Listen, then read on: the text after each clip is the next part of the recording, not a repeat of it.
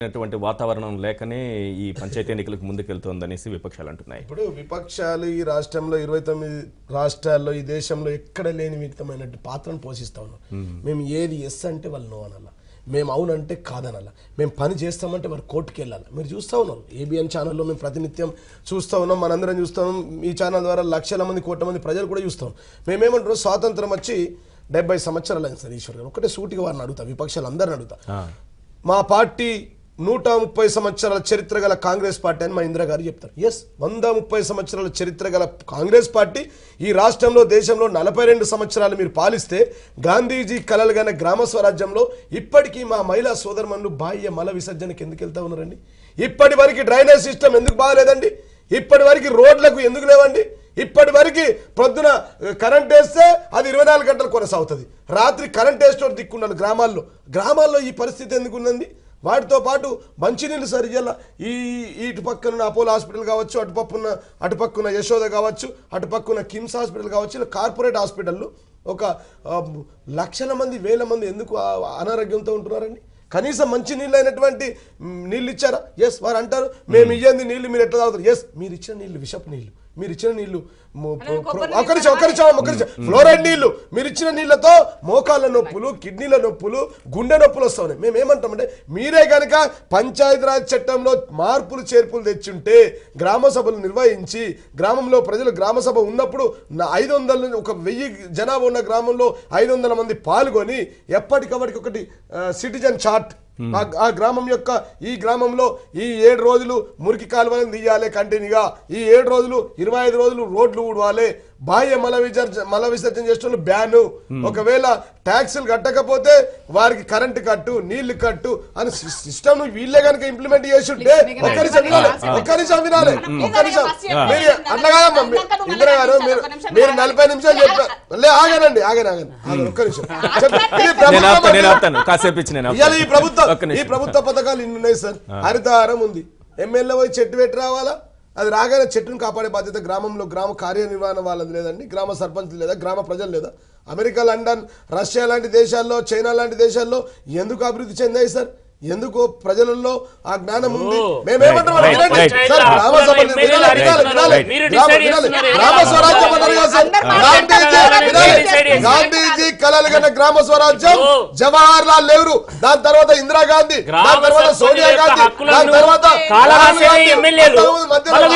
వచ్చారు కదా. గ్రామాల పరిస్థితి మారిందా? ఇప్పటికీ ఈ రోజు వరకు నా. సోదరి మనులు బాల బాహ్య బల విసర్జనకి వెళ్తా. ఉన్నారు గ్రామాల్లో. Ah. ఎంత బాధాకరం సార్? ఇదేనా స్వాతంత్రం వచ్చింది. ఇదేనా గ్రామ స్వరాజ్యం. ఇప్పటికి. ఇప్పటికి ముప్పై ఇరవై శాతం గ్రామాల్లో. ఒక్క. Ah.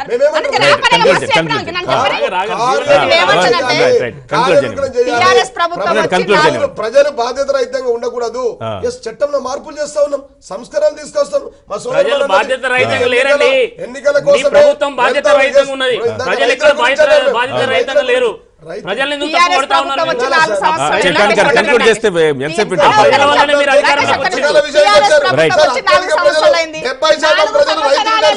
రైతులకు కట్టినావు. ఎన్ని కాలువలు క్లీన్ చేసినావు? Yes. ఎంత మంది గ్రామ అంటే ఎంత మంది డెబ్బై శాతం ఈ రాష్ట్ర ప్రభుత్వం వచ్చిన తర్వాత దేశంలో అత్యధిక అత్యధిక గ్రామాలు ODF గా మారినాయంటే ఓపెన్ డెమోక్రసీ ఫ్రీ సిస్టమ్ మారిందంటే మొట్టమొదటి గ్రామం ఈ తెలంగాణ రాష్ట్ర Right, రాష్ట్రం. చెప్పండి. ఆ. గ్రామ కార్యదర్శి ఉంటాడు తర్వాత కారోబార్ ఉంటాడు. వీళ్ళతోన మీరు ఎందుకు పని చేయించుకోలేకపోతున్నారు అన్నది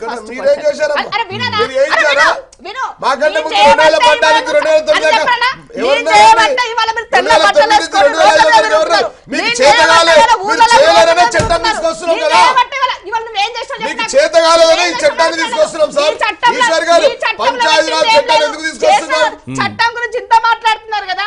మహిళల కోసము బంగారు తల్లి అనే ఒక పథకాన్ని చట్టం చేసిరు ఆ చట్టాన్ని తుంగలో దొక్కిన నీకు చట్టం మీద? గౌరవం ఏంటో మహిళల చెప్పు గురించి నాకు. మాట్లాడితే నువ్వు నీకు అవునా? ఎక్కడండి? అసలు మీరు బర్త్డే మహిళలకు నుంచి మాట్లాడే బరియల్ గ్రౌండ్ వరకు అవకాశం మహిళలకు చేస్తా ఉన్నాం. మహిళలకు Right. మాట్లాడే గర్భిణీ స్త్రీ ఉంటే అవకాశం పన్నెండు లేదు. వేలు లేదు. గర్భిణీ స్త్రీ ఇవాళ ఉంటే కోడి గుడ్డు ఇస్తాం 2017, ఆ 18, గర్భిణీ స్త్రీ డెలివరీ అరే, అవడానికి నా మాట ప్రభుత్వ వినలేదు. ఆసుపత్రిలో ఉచితంగా ఇస్తాం 2017, డెలివరీ అయిన ఆడవాళ్ళకు కేసీఆర్ కిట్ ఇస్తున్నాం కేసీఆర్ కిట్ ద్వారా ఆ బిడ్డ పెరిగిన రూపాయలు తర్వాత అయితే రైట్, రైట్, చెప్పండి. మహిళల కోసం రైట్. రైట్ చెప్పండి చెప్పండి. బరియల్ గ్రౌండ్ వరకు మహిళలకు చేస్తుంది. ప్రభుత్వం ఉందంటే. అది కేవలం మా ప్రభుత్వం. పుట్టినప్పటి నుంచి వరకు ఇస్తా ఉన్నాం sir? Two thousand seventeen eighteen budget లక్ష నలభై తొమ్మిది వేల తొమ్మిది వందల ముప్పై తొమ్మిది కోట్ల రూపాయల బడ్జెట్ ఉంటే నా మహిళల కోసం కేటాయించింది ఒక వెయ్యి ఏడు వందల ముప్పై ఒక్క రూపాయి. నేను జనాభాలో ఫిఫ్టీ పర్సెంట్ నువ్వు నాకు కేటాయించింది one point one five percent. నీకు నా మీద ఏ మాత్రం చిత్తశుద్ధిని చెప్పు నువ్వు ఇప్పుడు. నువ్వు ఇచ్చినటువంటి దాంట్లో ఇవాళ పింఛన్ ఇస్తాను అని చెప్తున్నావు. ఎంతమందికి పింఛన్ ఇస్తున్నావు? పింఛన్ మందికి అత్యధిక పింఛన్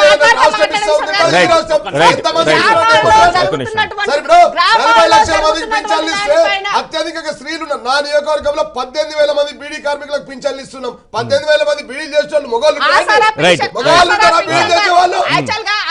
పింఛన్- కింద ఉన్నటువంటి పింఛన్ దారులను ఇంచుమించు అవగాహన వాళ్ళను- లేకుండా మాట్లాడితే ఎట్లా? అవగాహనతో నలభై లక్షల పింఛన్లు ఇస్తా ఉన్నాం లెక్కలతో సహా ఒక్క నా చెప్తున్నాను. నియోజకవర్గంలో లెక్కలతో యాభై ఆరు వేల సహా మందికి పింఛన్లు ఇస్తున్నాం లెక్కలతో సహా ఒక్క నిమిషం చెప్తున్నాను. ఇంద్రమ్మ. పింఛన్ ఇంద్రమ్మ వినాలి. అభయహస్తం యాభై ఆరు వేల కింద పింఛన్లు ఇస్తా ఉన్నాం ఇరవై ఇరవై వేల మంది ఇరవై లక్షల మంది పింఛన్దారులు ఉన్నారు దాంట్లో నుంచి మీరు ఏం చేసిండ్రు మొత్తాన్ని వాళ్ళని ఆసరా కిందకి కొద్ది మంది మూడు లక్షల పింఛన్దారులు-. కేవలం తొంభై ఎనిమిది వేల మందికి మాత్రమే నువ్వు. పింఛన్ ఇస్తున్నావు. ఆ పింఛన్ కూడా సమయానికి తొంభై- ఇస్తలేవు తొంభై- ఎనిమిది వేల మందికి? మాత్రమే పింఛన్ ఇస్తున్నావు? నా దగ్గర అథెంటికల్ డేటా ఉంది? తీసుకో? ఆసరా పింఛన్ కింద తొంభై ఎనిమిది వేల మొత్తం అన్ని పింఛన్లు కలిపి అంటున్నారా? ఆసరా కింద మొత్తం. యాక్చువల్గా మూడు లక్షల మంది ఉంటే మూడు లక్షలలో ఉన్నట్టు వాళ్ళను అవగాహన రెండు లక్షల మంది. రెండు లక్షల. మందిని డైవర్ట్ చేసినావు. రెండు. లక్షల మందిని డైవర్ట్? మిగతా తొంభై ఎనిమిది వేల మందికే నువ్వు ఇస్తున్నావు ఎందుకు ఆసరా కింద చెప్పమ్మా. డైవర్ట్ చేసినావు వాళ్ళు మూడు వందల అరవై ఐదు రూపాయలు అభయస్థం కింద నీకు. కడితే అది గవర్నమెంట్ ఆ ఫండ్ కింద మొత్తం ఇవాళ ఇంచుమించుగా ఒక వెయ్యి తొంభై ఒక్క కోట్ల రూపాయలు నీ దగ్గర ఉన్నాయి. ఆ నిధి నుంచి నువ్వు ఐదు వందలు మాత్రం నువ్వు పింఛన్ ఇస్తున్నావు ఆసరా కింద వెయ్యి రూపాయలు అంటే అందరు. ముసలోళ్ళు ఏం చేసి ఆశతోటి అటు కన్వర్ట్ అయ్యిండ్రు ఇవాళ అది కూడా ఇస్తలేవు ఎవ్రీ మంత్ ఫిఫ్త్కి. నెలలో ఎప్పుడో ఒక. రోజు నీకు ఇష్టం. ఇవే అభయస్థం పింఛన్లు ఈ. రోజు ఇంచుమించు లాస్ట్ డిసెంబర్ నుంచి ఈ డిసెంబర్ వరకు. పింఛన్లే లేవు. నిన్నగాక మొన్న ఆంధ్రజ్యోతిలో కథనం వచ్చింది. కావాలంటే చదువుకో. కావాలంటే చదువుకో ఇవాళ నువ్వు గ్రామ స్వరాజ్యం చేయాలంటే గ్రామాల్లో ఉన్నటువంటి మహిళలను విస్మరించినాక నువ్వు ఏ విధంగా గ్రామ స్వరాజ్యం మహిళలు చేస్తావు? ఒక గ్రామ. పంచాయతీ- మహిళల సంక్షేమం విస్మరించిందా టీఆర్ఎస్ ప్రభుత్వం? మాట్లాడదాం. Right, right. అడుగుదాం, గ్రామ పంచాయతీలు చేస్తా అని చెప్పినటువంటి మీరు. ఈ రోజు వరకు తండాలు గ్రామ చట్టం తీసుకొస్తామంటున్నారు కదా. ఏ రకంగా చేస్తావు? ఆ. That is their agenda Eshwar point గారు ఈశ్వర్ గారు నువ్వు ఏ రకంగా చేస్తావు అని అడుగుతున్నా నేను. కాబట్టి వాళ్ళ మొత్తానికి అధికారం చేతిలో ఉంది అని చెప్పేసి పోలీస్. యంత్రాంగాన్ని చేతిలో పెట్టుకొని. నీకు నచ్చినట్టుగా నువ్వు ఏది చేసినా చెల్తుందంటే మాత్రం ప్రజలు చూస్తూ కూర్చోరు. ఇవాళ నువ్వు నువ్వు ఇంత మాట్లాడుతున్నావు కదా నా నిన్నటికి మన రీసెంట్గా అన్న కాన్ఫరెన్స్లోనే అన్న ఒక కార్యక్రమానికి వెళ్తే ఉంటారని చెప్పండి. రైట్ రైట్ రైట్ రైట్ ఒక్క నిమిషం. ఇందిరా గారు ఇందిరా గారు ఆగండి. Right right. రైట్ ఒక రాకేష్ గారు, నిమిషం గారు. నిమిషం నిమిషం గారు. ఒక ఒక సూటి ప్రశ్న ఏంటంటే వీళ్ళకు గ్రామాల అభివృద్ధి మీద చిత్తశుద్ధి ఉంటే వీళ్ళు ప్రకటించినటువంటి గ్రామజ్యోతి పథకం ఏమైందండి మరి?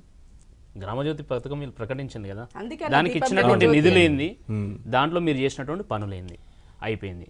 రెండోది ముఖ్యమంత్రి గారు స్వయంగా ప్రకటించారు. మన ఊరు మన ప్రణాళిక. ఏమైందండి? మన ఊరు ఎక్కడ పోయింది? మన ప్రణాళిక ఎక్కడ పోయింది? ఆ ప్రణాళికకి ఏమైనా నిధులు ఇచ్చారా ఆ ప్రణాళిక ఏమైనా అమలైందా అలా ఎంపీ రెండోది గారు కొత్తది ఒకటి పెట్టుకున్నారు. రెండోది ఆమె మూడోది separate మూడోది manifesto ఒక్క నిమిషం ఆగండి, ఒక్క పెట్టుకొని, నిమిషం నా ఊరు మూడో నా ఒక్క ప్రణాళిక నిమిషం ఆగండి. పెట్టుకుంది. అదే మూడోది? మూడోది ఒక్క నా నిమిషం. పల్లె నిద్ర ఆగండి ఏమైంది? ఆగండి మూడోది మొన్ననే చేసిన వారం మీ.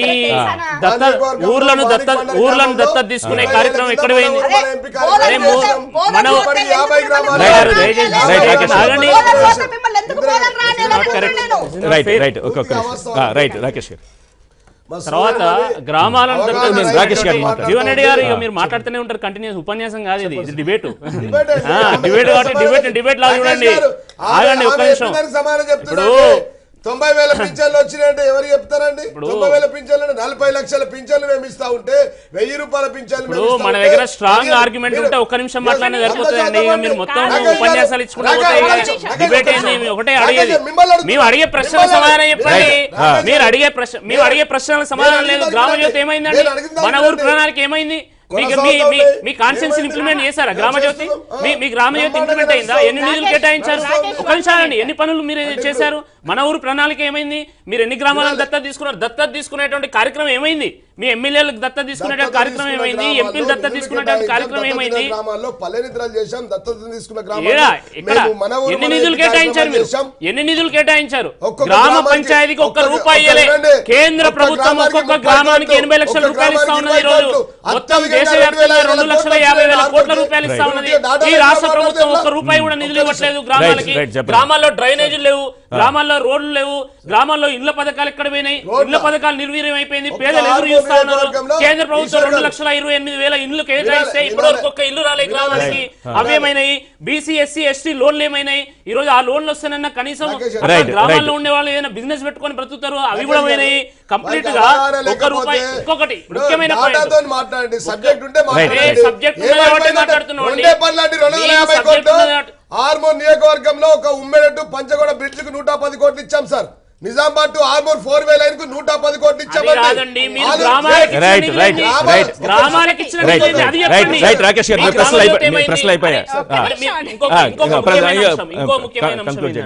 ఇంకా ముఖ్యమైన అంశం, ఏంటంటే గ్రామంలో ఇంతకుముందు డైరెక్ట్ ఎలక్షన్స్ ఉన్నప్పుడు ఒక ఏకాభిప్రాయంతో మంచి వ్యక్తిని చూసి ఎన్నుకునేవాళ్ళు. డబ్బులు ఉన్నా లేకపోయినా ఓ మంచి వ్యక్తి ఉండాలి పెద్ద మనిషి ఉండాలి అందరినీ సమానంగా చూసేటువంటి వ్యక్తి ఉండాలని చెప్పేసి ఒక ఎన్నుకునేటువంటి ఒక పద్ధతి ఉండే.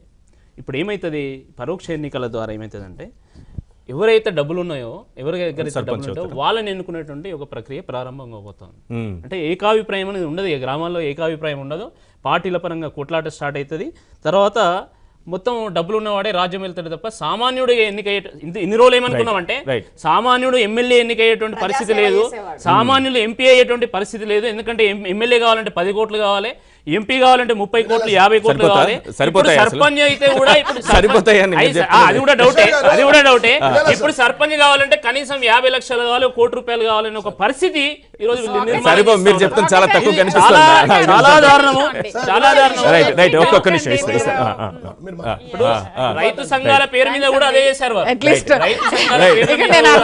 పూర్తిగా గ్రామీణ.